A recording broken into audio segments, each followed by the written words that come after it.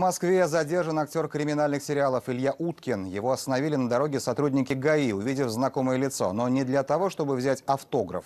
Как выяснилось, Уткин числился в федеральном розыске по статье «Разбой». И это дело очень напоминает любую практически из его ролей. Групповое ограбление квартиры в Медведкове.